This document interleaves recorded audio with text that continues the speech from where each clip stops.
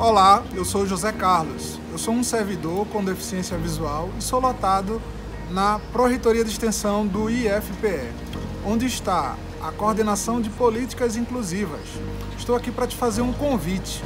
Durante o mês de setembro, a série de vídeos Por Dentro do IFPE vai apresentar o trabalho dos NAPES, os Núcleos de Apoio à Pessoa com Deficiência, nos nossos 16 campi e na educação à distância.